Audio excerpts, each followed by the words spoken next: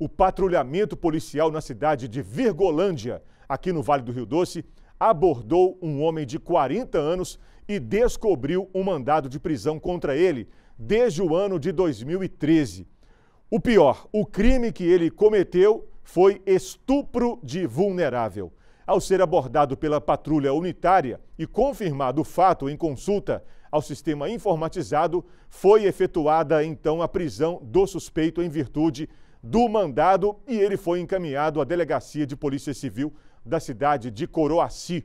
E após finalizado o flagrante na delegacia de Polícia Civil, ele foi encaminhado ao presídio da cidade vizinha de Peçanha, no Vale do Rio Doce.